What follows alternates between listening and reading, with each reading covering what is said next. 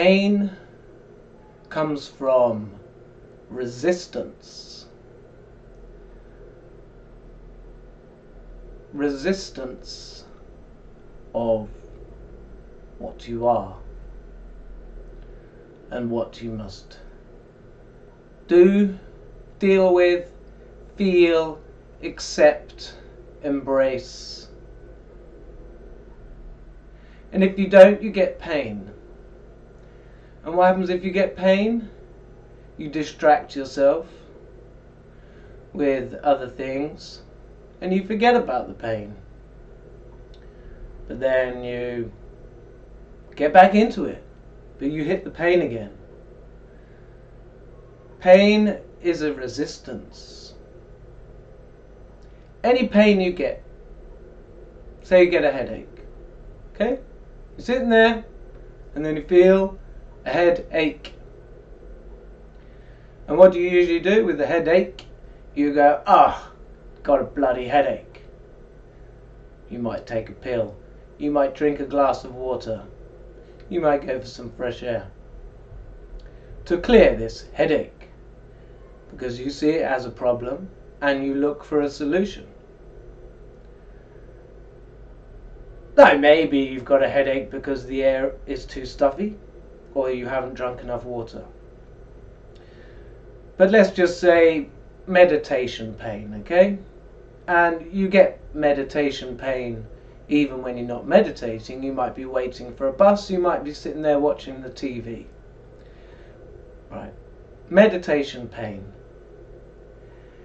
I had this pain on the soles of my feet. I could meditate for an hour and a half, an hour, two hours, ten minutes, depends, depended.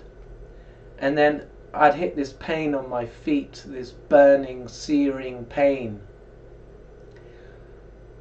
A few times I had to look down and check was I on fire? it took me a while to realize what this pain was being caused by and it was again a resistance as they all are. This particular pain was a resistance of my the feelings from my soulmate as I was meditating. Now you see what I do is I sit and meditate and I love every feeling sensation that I get because I understand that is how I be with love.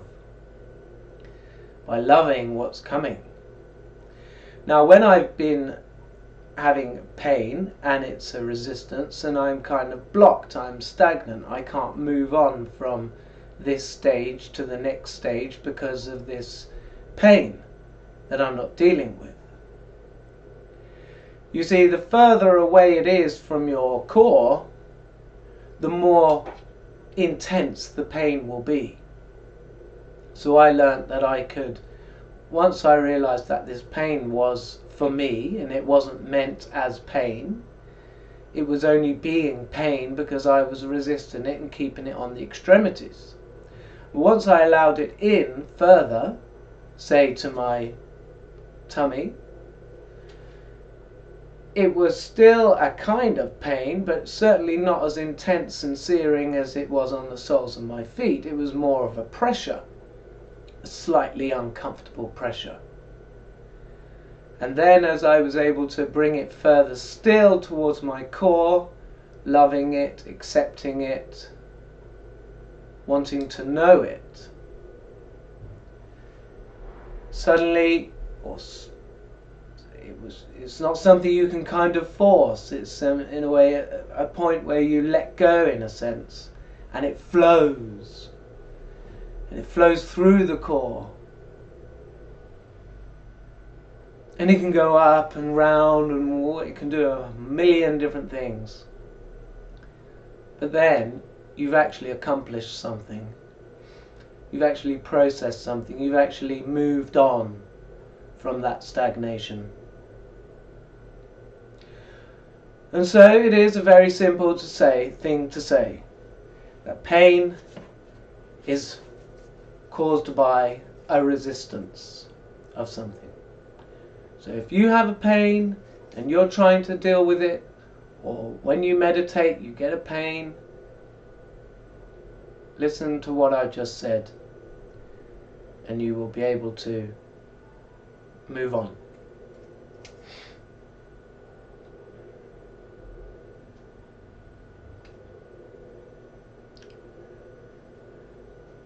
Let's talk about the future. Why are we so obsessed with what the future looks like? Well, we like to know what things look like, don't we? But often, if there, if there's a film or something about the future, obviously film is a visual art, but we're looking into the future and we're thinking, what are humans going to be wearing? What are we going to be traveling in, you know? And um, what will be the order of things? So, how will the society operate? And, you know, this isn't surprising why we should wonder at these things. Um, if we look into the past, we can see that the clothes we were wearing were different, the things we were traveling in were different, and the order of things have been different. And those three things and more, and what we drink and eat and all the rest of it, they change and develop and what's what's right. But we kind of in the last hundred years or so, we've kind of been trapped in this rather than uh, uh, evolving as people, we've we've kind of depended on technology to evolve and we've kind of felt that is in a sense us evolving. And to some extent it is. Um, the amount of knowledge we can now process uh, through watching a film or playing a game is much more than we could have done from um, reading a book. Because just the the bandwidth of information that you can take in is so much greater and it's greater now than when I was a child. When I was a child, you could put the telly on, uh, you'd have a couple of channels, and they might not even be uh, broadcasting all day, or you could watch a film that you'd probably watched about 20 times already. Whereas children now, they can go on the internet, they can absolutely get anything whatsoever. And yes, they are being steered by, uh, you know, whatever, but it's available they can go and find out whatever they need to know. So the bandwidth of information that you can pull in is more, but that in itself doesn't make you more evolved. It probably gives you more capacity for knowledge absor absorption and that's a type of evolvement I guess and then but it's what you do with that afterwards which is the important thing.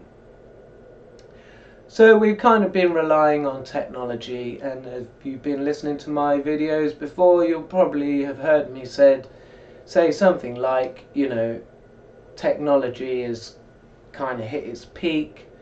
Uh, science was was going on and up and up and up until the electrons weren't doing what they expected them to do.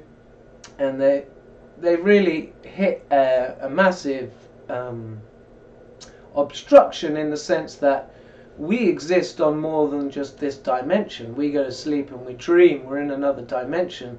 Now, there's no machine you can build, physical machine you can build, that can access that other dimension.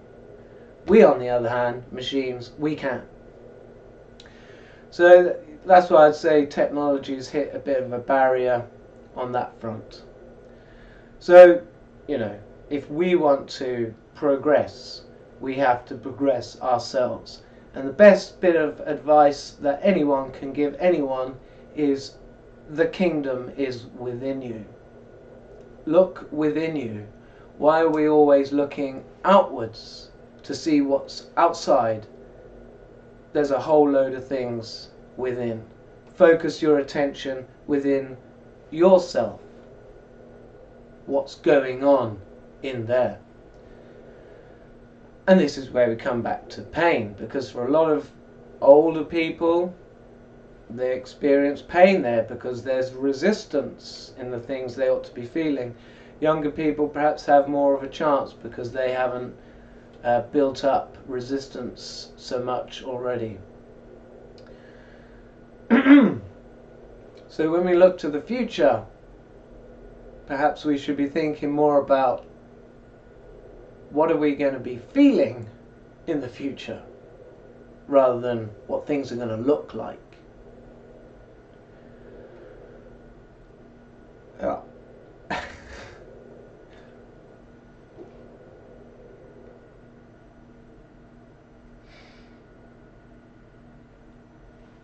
And we're going to go and take a look in a bit over on the computer at the protocols of the elders of Zion. Few bits I've highlighted that shows us it's happening. You know, this thing was written in the 1800s at some point. They say it was the Bolshevik plan, but these things are really happening in the world and they're pretty darn obvious. So whoever wrote that over a 150 years ago or whatever certainly had some insight as to what's been going on now, which is quite extraordinary really. I don't think they claim to be a prophet, but what they are saying is that they planned these things to happen and it's just part of their agenda.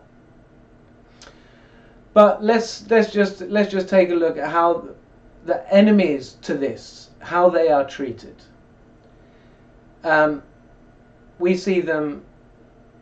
Uh, what's the word when they point? You know, point someone out. We see them highlighted in the press. Boom! Point your fingers at this person, everybody. Highlight this person. Let me tell you what they're doing. They're bombing their own people, or they hate Jews, or they bully the civil servants and they'll be ganged up on. They'll be ganged up on by the opposition, because everybody's got opposition. They'll be ganged up on by the media, because the media are fully in the pockets of these uh, elite. And it'll be just constant pressure, gang up, gang up, gang up, unrelenting until that person that they're pointing out is uh, totally ruined and off the scene. We've got Jeremy Corbyn, right? What's he ever done wrong? He doesn't want war. He wants to stop spending money on missiles. He thinks they're pointless. And a lot of people agree.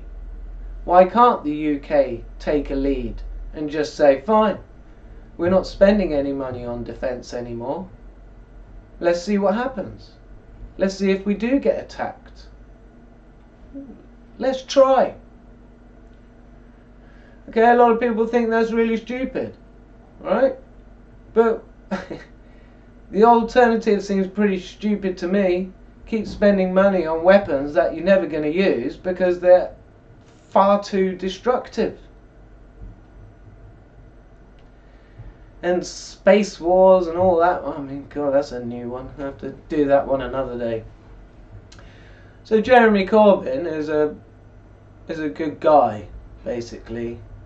Yet he's been made out to be this horrible, evil person who won't talk about anti-Semitism and da da da da da. Oh, so terrible, isn't it? Awful. And we've got, well, we know Bashar al-Assad. Remember him? I mean, how he was persecuted. And then we got Priti Patel in the news, Home Office Secretary bullying the civil servants. Well, I just put a message up on Facebook saying I spoke to an old wise man the other day who knows things. And I said, who's got the real power in Banbury? You know, who really decides what happens? And he says there's about four people in the district council, civil servants. They have all the power. So what about the elected representatives? So they haven't got a clue. You know, this is the world we live in. those people who lurk behind the corridors, they're the ones with their fingers on the power. And if they don't like the minister, they can gang up against them, call them bullies, do whatever. Well, basically, Priti Patel might have been getting cross at them because they don't bloody carry out the what they're being asked to do. They drag their feet when they're told to do something they don't want to do. They have an agenda. And we'll have a look at that in a minute.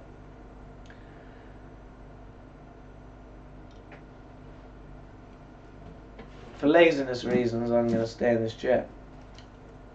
And we'll look at this first, and then we'll go and look at that. That, right. We're looking at Proverbs. Uh, did a video back in 2019, not Proverbs, Psalms I want. Um, you know, how Psalms are supposed to, uh, according to the Jehovah's Witnesses, you know, Psalm number 2 was about the year 1902, Psalm 40 was about the year 1940. Psalm 119 is about the year 2019. That is the longest chapter in the Bible. We read that before. And at the beginning of 2020, we read Psalms 120. Let's read it again now. I called to the Lord in my distress, and he answered me. O Lord, I cried, save me from lying lips and from the tongue of slander. What has he in store for you, slanderous tongue? It's what we hear, isn't it? Slander, slander, slander, accusations, allegations, allegations. And then the press will go, all these serious allegations of me made against you. What are you going to do about it? Blah, blah, blah, blah. What more has he for you? Nothing but a warrior's sharp arrows or red hot charcoal. Hard is my lot, exiled in Meshech, dwelling by the tents of Kedar. All the time that I dwelt among men who hated peace, I sought peace but whenever I spoke of it, they were for war. Well, I mean, quite a lot of that seems to sum up year 2020. But anyway, I mean, I'm sure we could, uh, exiled in Meshech, we could probably look up that and tie in some sort of thing to do with this lockdown and dwelling by the tents of Kedar, and we could probably look into that as well. But right, let's have a look for next year. Psalms 121. If I lift up my eyes to the hills, where shall I find help? Help comes only from the Lord, maker of heaven and earth. How could he let your foot stumble? How could he, your guardian, sleep? The guardian of Israel never slumbers, never sleeps. The Lord is your guardian your defence at your right hand. The sun will not strike you by day, nor the moon by night. The Lord will guard against all evil. He will guard you, body and soul.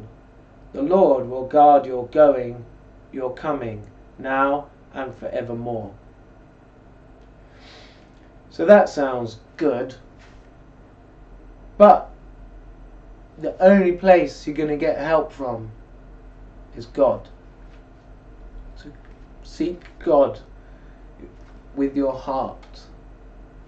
It's your, it's your parent. It's quite an easy feeling. And I had a I had a quick glance at 122, 123, 124, 125, 126, 127 128. It's all good. Well, it's kind of, good. 120, well, so 128 is called Long Life and Prosperity. That sounds good. 129 is called Prayer Against Zion's Enemies. So you could indicate from that that um, after 128 there's going to be some more attack.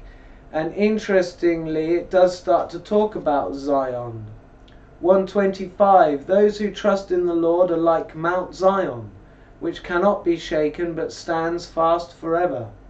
As the hills enfold Jerusalem, so the Lord enfolds his people now and evermore. It goes on, but I won't read it on. You got a Bible, you can read it. So it does start talking about Mount Zion and what are we expecting in this time from the Revelation recoded is we are expecting the Mount Zion, uh, the 144,000 standing on Mount Zion. But before that, I think we've got the mark of the beast. You know, and as if that isn't happening. Okay, so we're going to go over to the other computer.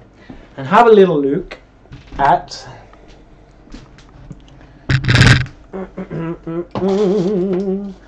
we're going to have a look at the internet.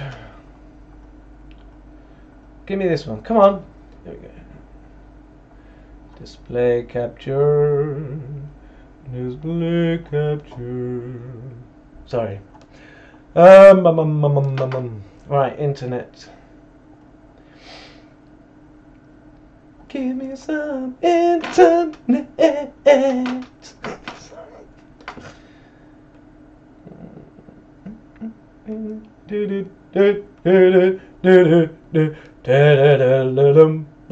Bum. God has instituted in the life so of this, the Jew is that he has dispersed him all. Uh, this video will get blocked. Um, I tried searching it yesterday. There were loads of um, loads of warnings about this isn't allowed in your country. So just have a look at these comments that I've done here. Right, begins proper at 1846, 106 ish. Oh, I did some before that. 3335 international rights will outweigh national rights. So this is part of their um, part of their plans. So obviously with the international agenda which possesses millions of eyes ever on the watch and unhampered by any limitations whatsoever our international rights will then wipe out national rights, in the proper sense of right, and will rule the nations precisely as the civil law of states rules the relations of the subjects among themselves. Okay. Then we've got um, 5210 new laws to remove the old liberal laws. So what they're saying is, you know, they get they allow all this liberalism, right, to the point to the point of the detriment of us, you know, like just way too liberal, and th- then they're going to claw them back. In order to grip in our hands all the forces of the community, we shall regulate mechanically all the actions of the political life of our subjects by new laws. These laws will withdraw one by one all the indulgences and liberties which have been permitted by the Goyim, and our kingdom will be distinguished by a despotism of such magnificent proportions as to be at any moment and in every place in a position to wipe out any Goyim who oppose us by deed or word. So Goyim are non-Jews. And these these Jews aren't the, the I mean they are some of them are Jewish, but these are Zionists, yeah?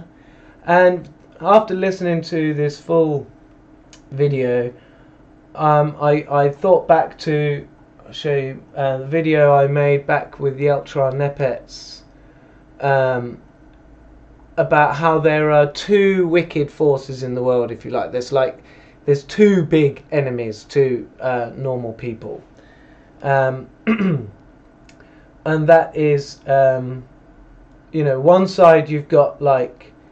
Uh, the Catholic Church and their type of evil. Which one? This one. And you've also got the um, synagogues of Satan, right? Which so if you look at the the Revelations, uh, the synagogue of Satan and the Nicolaitans are mentioned.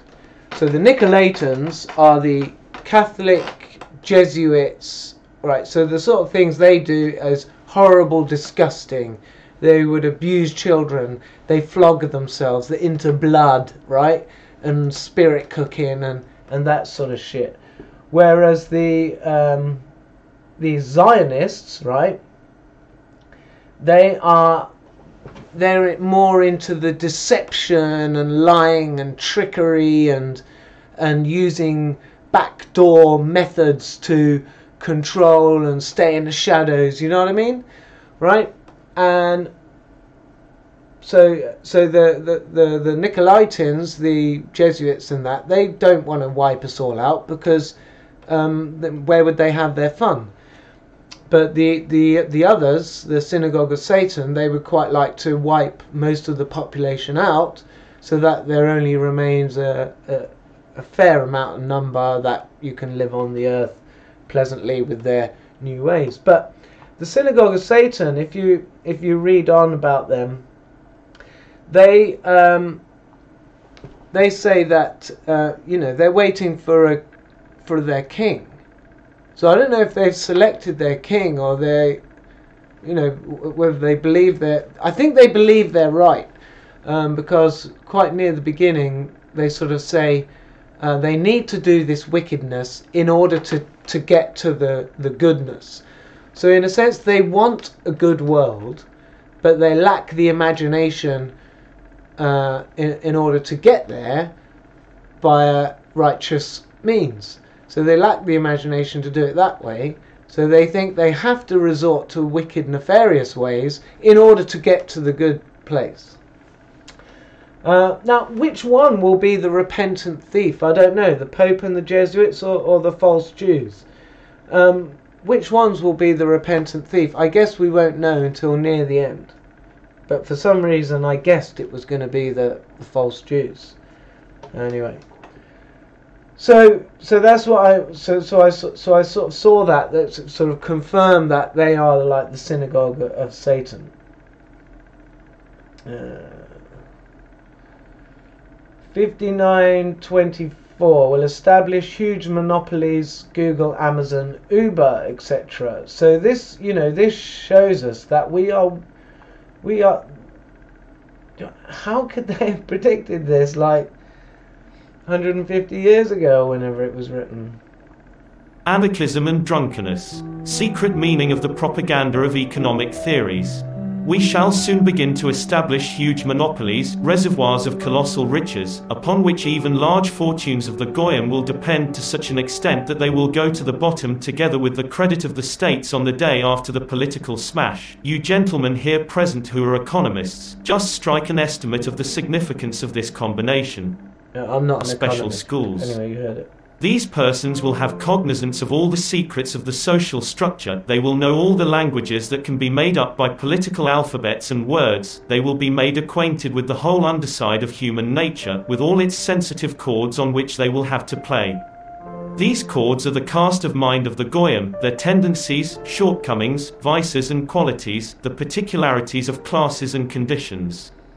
Needless to say that the So they think, you know, most Goyim are dickheads, which, um, you know, if you've been watching my videos for a while, then, you know, I do point out some of the dickhead behaviour that we do take part in, and but I also, you know, give the reasons for that. So I also do do that. But anyway, so um, like if you so 121 they select leaders from the dark with a dark past so that they can control them we've seen this happen so often jeffrey epstein may well be in the circle and i mean he may be one of the recruiters you know and what one of the ones gathering information on people so that they have the power to do this. if there should arise a deadlock from the impossibility of finding presidents, a deadlock which will finally disorganize the country. In order that our scheme may produce this result, we shall arrange elections in favor of such presidents as have in their past some dark, undiscovered stain, some Panama or other, then they will be trustworthy agents for the accomplishment of our plans out of fear of revelations and from the natural desire of everyone who has attained power, namely, the retention of the privileges, advantages, and honor connected with the office of president. So, you know, I think Trump got in by surprise. And they clearly wanted him out because they haven't let up from the very get go. I believe it was 19 minutes after he became president elect.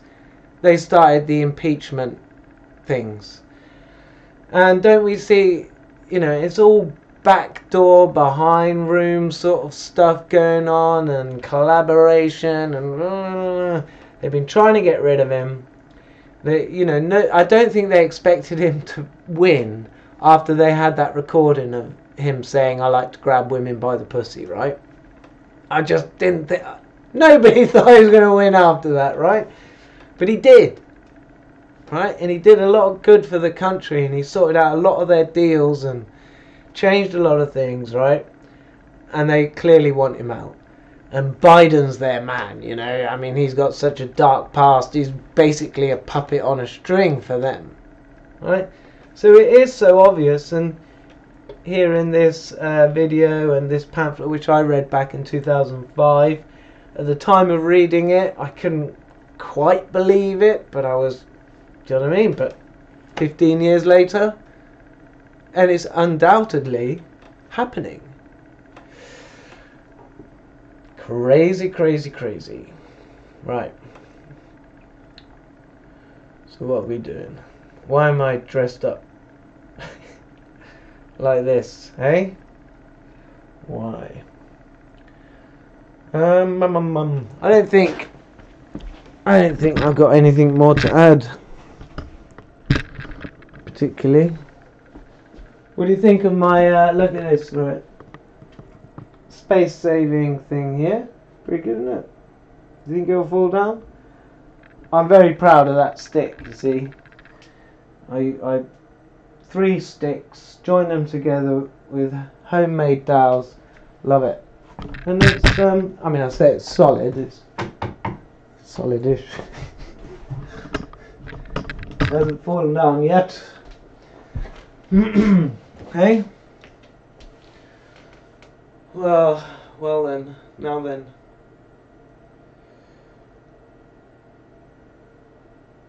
We are the most amazing things on this planet. And we didn't make ourselves. Did we? Something made us. Something more intelligent. Something amazing, enormous. You know, the universe is so huge, isn't it? I mean, even if you didn't know what all those pinpricks of light were in the night sky, the world is huge. It's amazing. We're amazing. And something made all this. We didn't make it. And that thing actually cares. And what we're seeing now in the world with all this not nice stuff is we are seeing examples of how not to do it. uh, these organizations, Catholic Church, false Jews, whatever, they take on a responsibility without really uh, checking with the boss, you know? And, and, and the boss allows them to do it so that they can learn from the error and we can all see and also learn from how not to do it. and because probably it's a bit too simple. The thing is, the answers are so simple. Like this is what problem I have is how to extrapolate on um, pain is caused by resistance, or love is the answer. You know, how do you to extrapolate on that isn't so easy. It's probably easier to see it go wrong. And in our own lives, how do we learn anything? We make the mistake then we really feel it. I'm not going to do that again because of the feeling of having done something wrong. Stops you, makes you remember, I'm not going to make that mistake again. Okay. Good place to end, I think. Ciao.